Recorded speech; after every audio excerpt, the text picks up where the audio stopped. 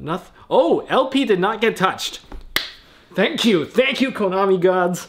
Hey guys, it's Tombox. Welcome to MST.TV. I did a reaction earlier about the ban list, but it was crap, so we're just gonna cut that right out.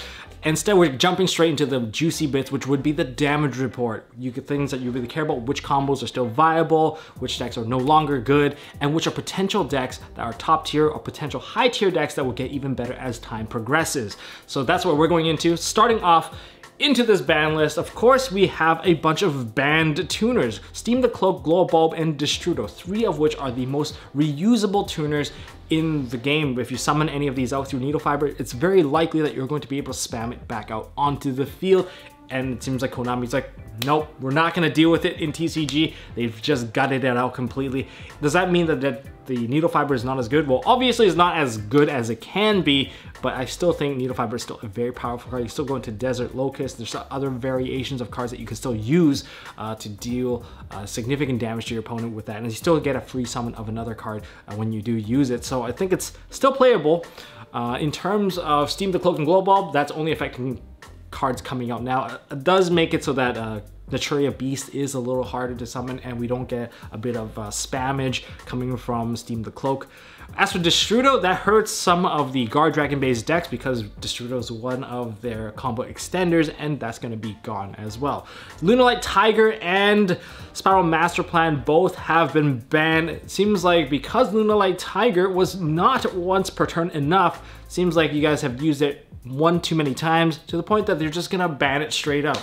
That completely cripples out Lunalights. As for Master Plan, hitting this one is a kind of an interesting choice. Nishi was going to put it on his balance prediction, so congratulations Nishi. You knew that was going to be this one instead of my choice. In fact, my choice is completely wrong on the Spyral Drones. But uh, looking at Master Plan completely getting banned, that's effectively stopping multiple searches because when Master Plan goes to the graveyard, you fetch a monster and the field spell. Field spell fetches another card. Master Plan on the field fetches another card. That's four cards just by Master Plan itself. And if you revive Master Plan again, you get yourself another plus. They're just killing the card straight up and not giving you additional resorts to play with either. So that is a complete uh, crumbling of a lot of these Spyral combos, but you still have access to double helix, so potentially you can still play the deck. I don't even think it's that awful. It's just that it's definitely not as good as it is now, probably knocking it down to perhaps tier two unless you can still use the engine efficiently. And I think it's pretty hard because uh, taking away the mastermind also takes away the potential to be used by Magician's Soul. Onto the limited stuff, and this is a huge list. They're taking away from Dangerous Tsuchinoko and Jackalope. I don't know why they're doing this, but I guess 3 Axis Dragon Link is the only deck that really abuses these two cards correct me if I'm wrong, uh, but that just means two cards out of a 60 card deck, which isn't too bad. The other card would be Destrudo, so that's three cards out from uh, that particular deck. ABC Dragon Buster has been limited. I don't know why they did this, probably because Union Carrier is also a thing and it's very easy to actually spam up multiple ABCs to, to enforce an OTK that could potentially banish couple cards off of the field as well. I find that to be very dangerous and I don't think we want to go down that particular path. So that's hit. Uh, TG Hyper Librarian. I didn't really mention it in my balance predict prediction, but it should have been there as well because now we can synchro spam once again in the new master rule. And Trishula is to prevent triple Trish loops and for good reason because hand loops are always going to be hit by Konami. Any sort of hand loop will always be removed because it is not very fun. In fact, when they hit Steam the Cloak, they took away the new Guard Dragon combo that I was gonna show you guys, which ripped four cards out of your opponent's hand while setting up two negates, which is exactly enough to stop every single play that they have left yeah, unfortunately we can't do that anymore. It, it involved a Desert Locust, a Darkest Diabolos, it also involved Chaos Dragon Levianeer, and uh, and Psyframe Omega. Yeah, four cards with four cards out of your hand, you can't really play, and I get to OTK you the next turn. So apparently they took that away. And totally awesome. I predicted this one. You guys are like, you're crazy. Hit the Bahamut Shark. Nope. Apparently, Paleo players, Konami doesn't like you very much right now, even though they just gave you an ultra reprint of uh, Dinomischus. Uh, instead, they're just going to be like, Frog, you can go. It's probably because people can spam multiple Bahamut Sharks. That's probably one way of actually spamming it out. You can get two Bahamut Sharks summoning out two Toads, and that's more than enough negate. And that's uh, pretty problematic. Now, the card that I was very surprised that they brought back, of course, no one really saw this coming, which Zoodiac Drident. And oh my god, I have a page full of this stuff because no one really cared about it. And, but it came with a caveat. The caveat was Barrage was put to one, and none of the other Zodiac cards really came back per se. Uh, there's no Broadbolt, Broadbolt's still banned, and uh, your Zoodiac Ratpier is still at one. And because of that limitation, uh, this is what I personally think about the deck though, uh, for Zoodiacs because you can still go into one card to one card to one card, it's still very powerful. Tai, you can still summon out a monster out from the graveyard, and you can use that to potentially keep on uh, link spamming up into something useful. And you can still go into chucking and giving you additional bodies. And with those additional bodies, you can link them off into something more effective. So effectively, I feel like Zodiacs can potentially become a link spam body generating engine with a Drident that potentially offers a pop. That's my current line of thought for that deck currently. Uh, will that change in the future? Maybe, but Tenki's still at 3, so it's very easy to search out uh, Zoodiac monsters. Then we have Instant Fusion put to 1, predict this one probably because Millennium Eyes Restrict would be a potential threat. Uh, and uh, it seems like they want to make sure the hand traps are still going to be effective. You're not just going to get an easy out for everything. Imagine every single time you try, you have a handful of hand traps, but sure, you can play Nibiru, you can play Gamma, stuff that it doesn't really affect. But at the same time, um, people can also play around those cards as well. And those cards usually have heavier restrictions. But for the more generic hand traps, a lot of them seem to have lost effectiveness because of Call by the Grave and, and the like and with instant fusion it would have made them even more toned down more irrelevant. So they're just going to limit instant fusion for now. At least that's my thought process on this particular subject especially when you don't need to commit your extra monster zone for this card in april.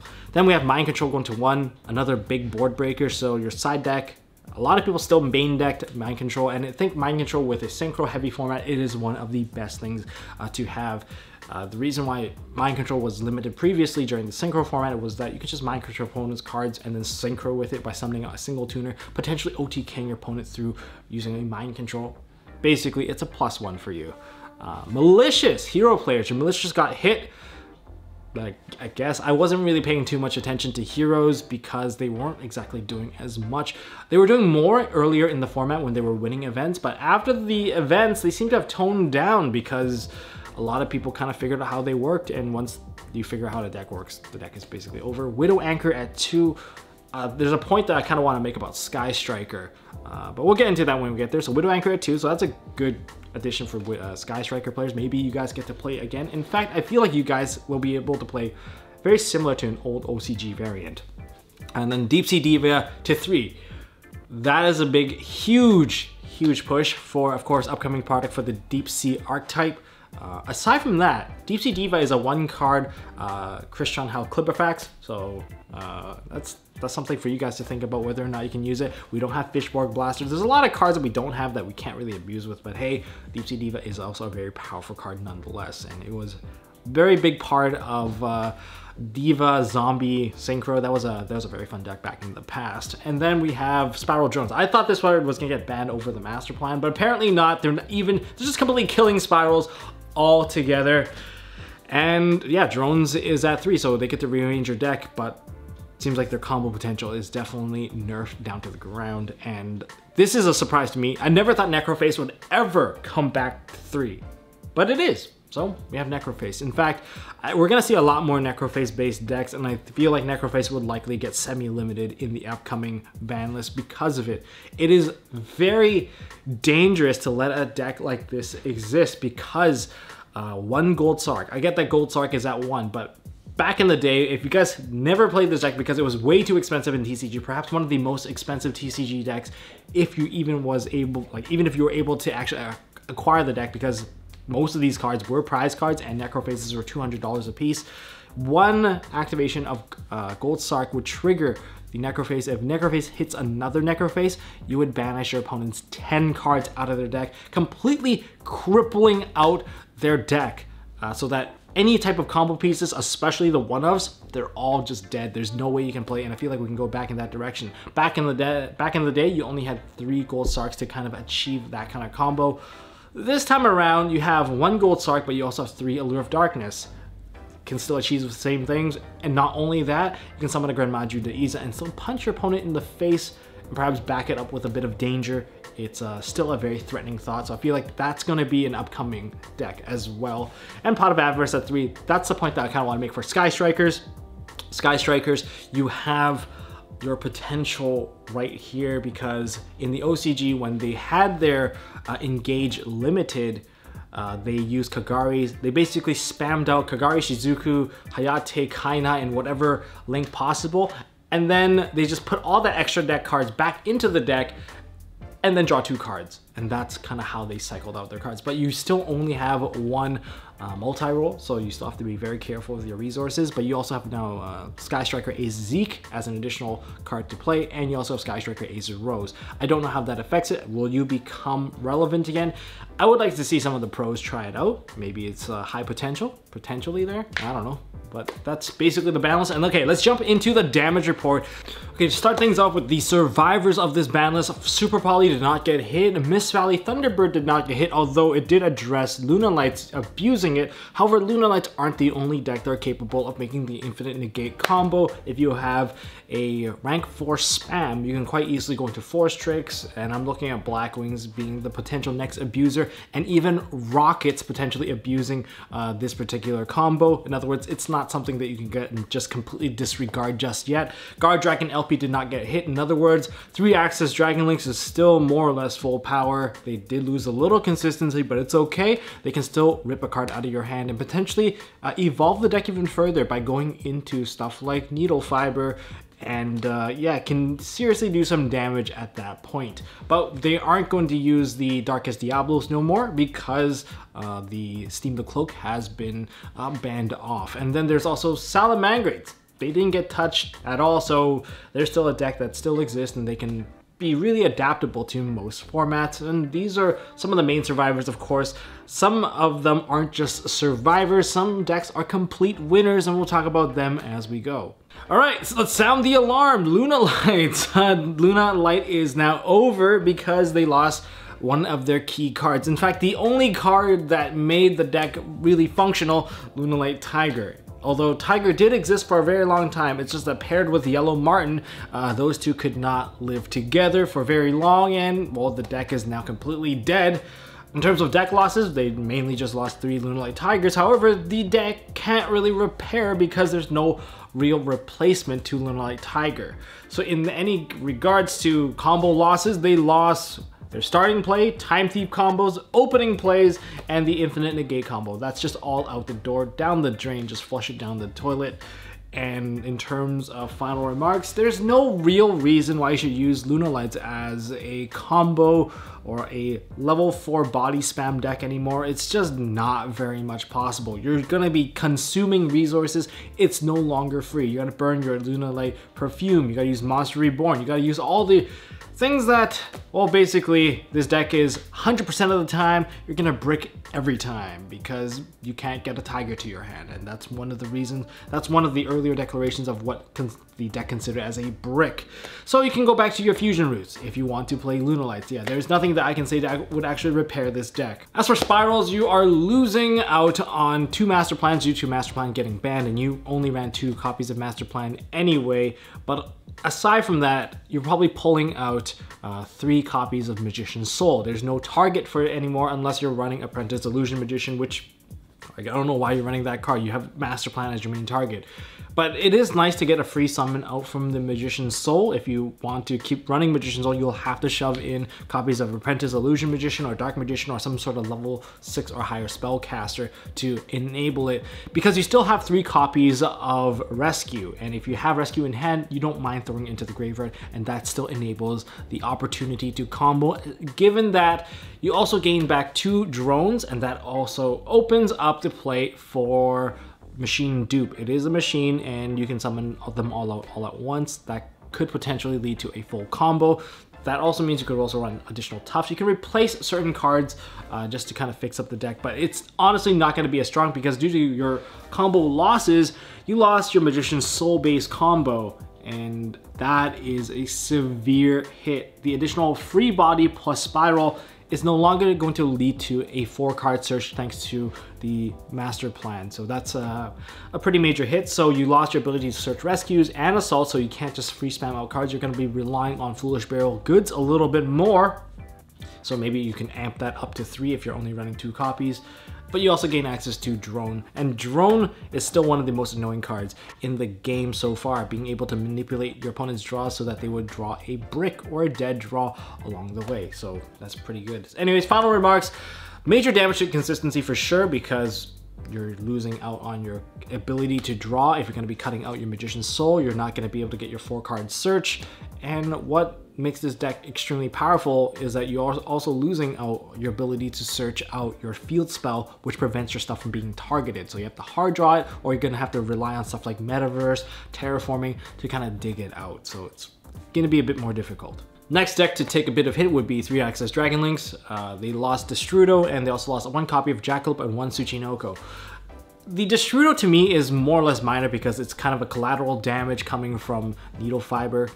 But for the Tsuchinoko and the Jackalope, I find that those hits are quite severe. Even for a 60 card deck, it's still one of the cards that allow you to draw additional cards and it's acting as a free summon along the way. Synergizes with your graveyard if you do somehow ditch out some of the cards that you prefer to have in the graveyard. So it does matter.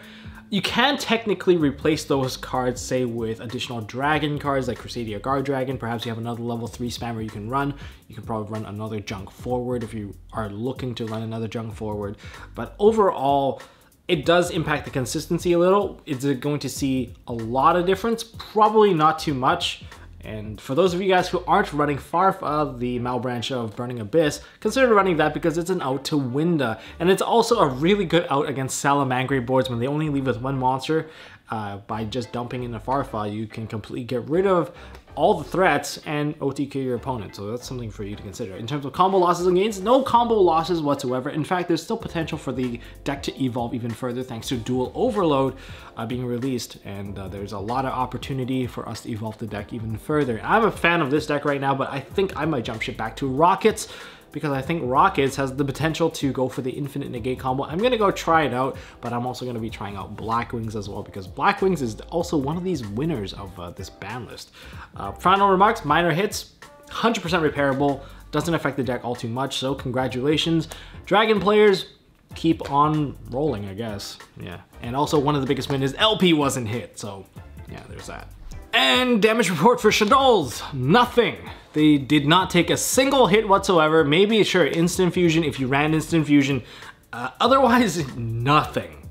Yeah, free reign. I feel sorry for those of you who play three copies of Instant Fusion, mainly for the Thousand Eyes Restrict or Millennium's Eyes Restrict. Whatever the case may be, uh, Shaddolls are completely unaffected and uh, they still have three Shaddoll Fusion. They have three Super Poly and they still have three copies of Construct, so take that as you will. It's going to be a fun ride for anyone playing Shaddoll. So for the time being, Shaddolls is probably gonna be one of the best decks ever. In fact, there's a lot of decks that did not take any hits. In fact, rather just kind of trolling you guys with this giant thing, let's just jump into a full list. Okay, for this top decks remaining, let's look at the top here, which are top tier potential. Rokkets, 100%. Uh, Rokkets have already been performing very, very well, even without 3-axis Dragon Link, and uh, they also, of course, won the UDS. So Rokkets remain unfazed. However, one of their biggest weakness will be Super Poly moving forward, as Super Poly remains to be at 3. So there could be multiple copies of... Um, Starving Venom Fusion Dragon, and that is more or less enough to kill someone if you uh, time it out correctly.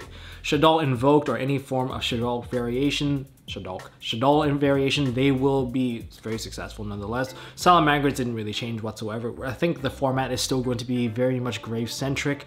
Uh, three Axis Dragon Link, I don't think they change very much and they're still gonna rip cards out of your hand. And I've I've played the deck against some of the Needle Fiber variant and it doesn't really change all that much because Setting up a mass board of negates against your opponent and not being susceptible to super poly when you build the board is still one of the big big uh, counters to uh, a lot of things in the meta, I would say. And on top of that, mind control is down to one, so one of the major cards that would break the board is also out of the picture. But Mystic Mine is still a thing, so you can still use Mystic Mine to kind of cut people out. Um, in terms of anti-meta, Altergeist is still very much strong and up there. And I think it's gonna stay up there. I think Subterror is kind of in the same ballpark. I'm not just gonna fill up this graphic with both of them. Anti-meta, Subterror, Altergeist, they're still among top tier potential. Heroes, another deck that didn't take major hits. They did lose one Malicious. I'm not sure if that actually changes all too much in terms of your combo capacity. Uh, it might short you up one monster and perhaps short you in a future uh, recovery play. But aside from that, you still have everything intact and uh, and then some. So Uh, I believe you're going to be able to live just fine. In fact, you're probably one of the strongest survivors out there because you don't have to maintain your zones anymore, but you're probably still gonna go into Cross Crusader anyway.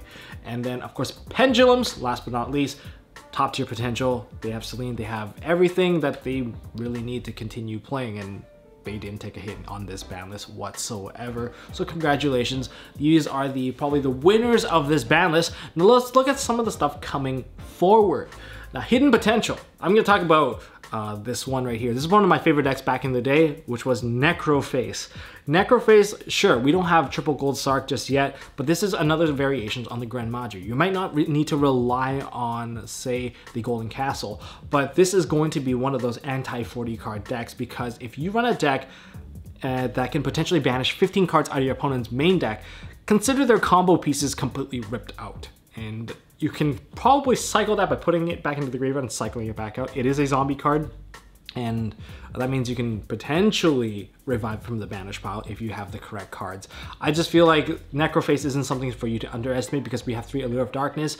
This card is also dark, get banished, and then it can banish additional cards, set up your Grand Maju plays, and perhaps even DD Dynamite. And that's how it actually played back in the day. It was a DD Dynamite burn to death type of deck, and we have ways to search out trap cards now so I wouldn't completely throw this one out just yet. Keep that in mind. Diva decks, I think Diva decks are high potential now, now that we have three Divas, and potentially it is a one card Needle Fiber.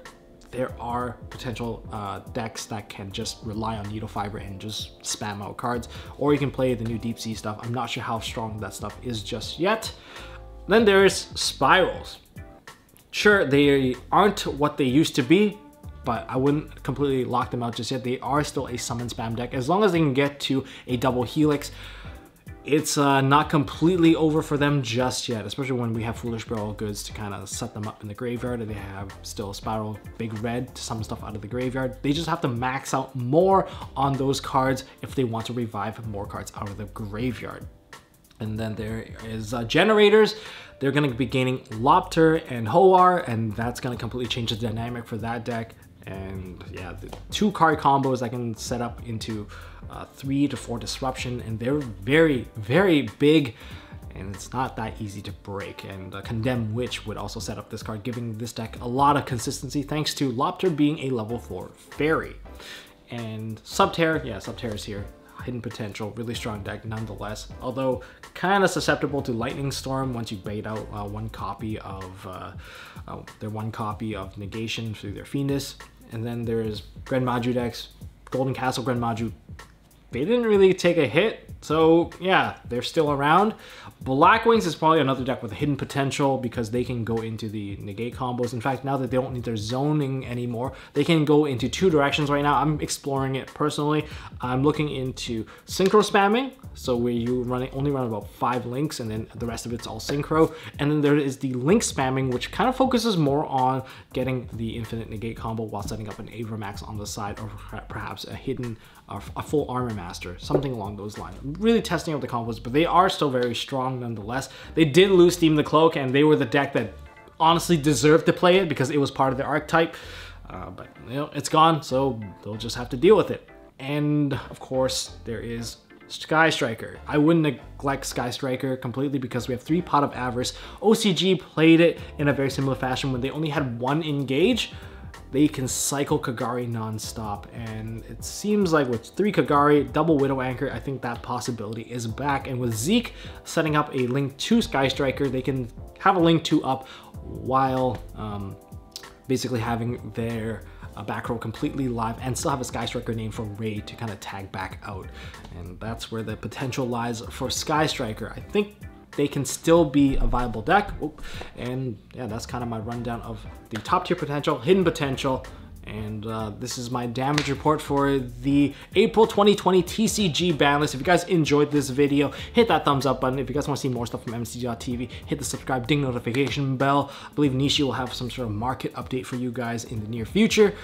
And yeah, if you guys are wondering where I am, I am currently at my fiance's place. This is kind of my makeshift portable studio, if you would say.